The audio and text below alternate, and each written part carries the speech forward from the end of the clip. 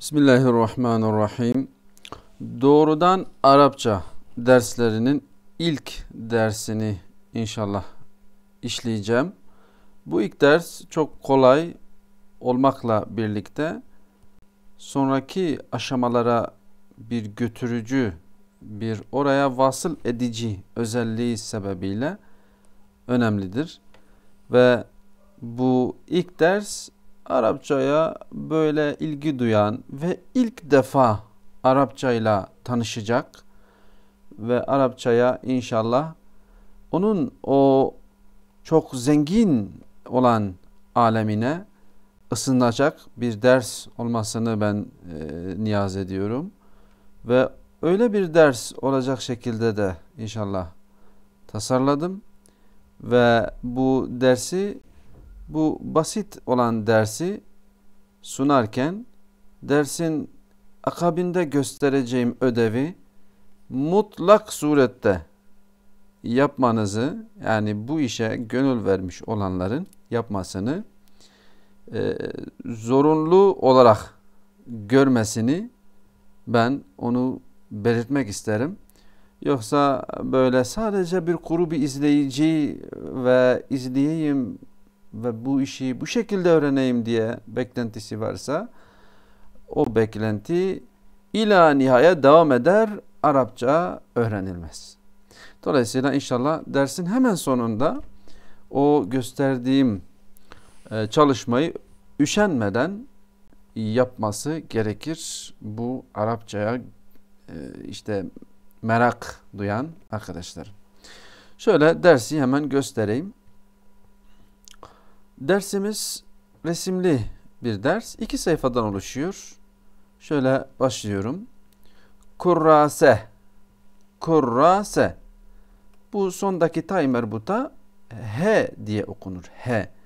Yani kurrase o şekilde okunur. Kitab. Bir de sonları sakin bir şekilde okuyoruz. Yani sanki burada bir cezim varmış gibi okuyoruz arkadaşlar. Hareke yok. Kitap, kurrase defterdir. Not defteri. Kitap zaten kitaptır. Kurrase ve kitap. Defter ve kitap arkadaşlar. Vav demek ki ve şeklinde okumak.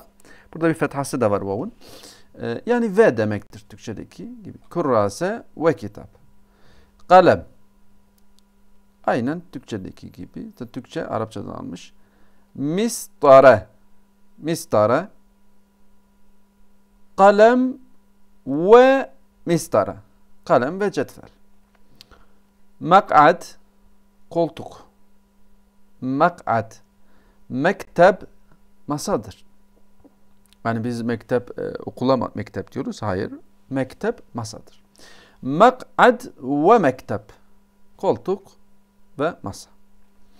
Müderris öğretmendir. Sebbure dediğim gibi timer buta he diye okunur.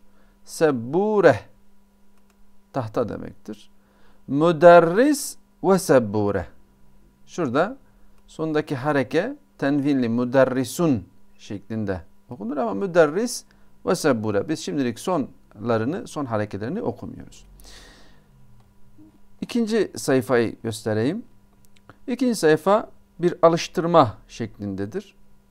Alıştırmayı da ilk sayfayı hafızanıza almanız lazım. Ne ile eşleştirilmiş? Kitap ve defter eşleştirilmiş. Kalem ve cetvel, koltuk ve masa, öğretmen ve e, tahta. Şimdi burada görüntü yok, görseller yok. Burada siz yazıdan ne olduğunu tanımanız lazım. Yani bu nedenle bu alıştırma sayfasıdır. Ödev sayfası da budur. Esas ödev sayfası. Kurrase ve kitap doğru bir eşleştirme midir? Evet. Kalem ve mektep doğru bir eşleştirme mi? Hayır. Çünkü kalem ve mistare vardı. Mak'at ve mistare doğru bir eşleştirme midir? Hayır. Mak'at ve mektep idi. Mak'at koltuktu. Müderris ve sebbure doğru bir eşleştirme mi? Evet. Bu, bu alıştırma bu kadar. Sadece bunların eşleştirmesi. Yani mek'adi mektebe getireceğiz. Kalemi de mistareye götüreceğiz. Yani yazıyı görüp onun ne olduğunu hatırlayabilme çalışması. İkinci alıştırma, ikinci çalışma bu resimdeki nedir? Kurase midir? Mistara mıdır? Sebure midir? Seburedir. Tahta. Bunu şuraya ok işareti getireceğiz. Bu nedir? Yine görsel hafıza, görüntü olarak defter zaten not defteri. Mektep, kitap, kurrase. Kurrasedir. Bitti. Bugünkü çalışma bu. Şimdi ödevi hemen göstereyim. Ödevde şudur. A4 kağıdınız olacak. A4 kağıdına üşenmeden bu ilk sayfadır. Göstereyim. İlk sayfası şöyle uzaklaştırayım. Bu ilk sayfanın aynısını yani üstteki yazılar gerek yok. Aynısını arkadaşlar resimleriyle birlikte çizeceksiniz. Zaten kalıcı öğrenme bu ya. Yani şöyle buraya işte bir defter resmi çizeceksiniz. Şöyle bakın. Hemen yaklaştırayım. Kitap resmi. Ee, hemen yanında defter. Şöyle biraz sola getireyim. Yazı, kurrase ve kitap şeklinde yazacaksınız. Altında önce isimlerini yazarsınız.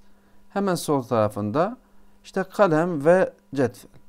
E, defter ve kitap şeklinde yazmanız gerekiyor. Bu çizimi yapacaksınız. Birinci etkinliğimiz bu. Ödevdir bu.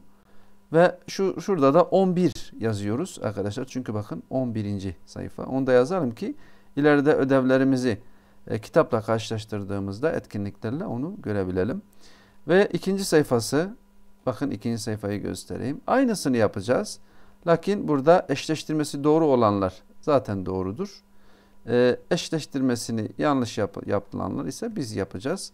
İşte kalem ve mistare bunu eşleştireceğiz. Mak'ad ve mektep bir de müderris ve sebureyi eşleştiriyoruz. Burada da resmi çiziyoruz. Bu bir tahta resmi. Sebure olduğunu e, getiriyoruz. Ve defter resmini onu da küraseye getiriyoruz. Bu kadar. Ödevimiz bu. Bir A4 kağıdı yeterlidir. Bu ödevi aksatmadan yapmanızı bu çalışmanın ileriki karmaşık çalışmalara bir temel teşkil etmesini niyaz eder. Bütün Arapçaya başlayacak kardeşlere başarılar dilerim.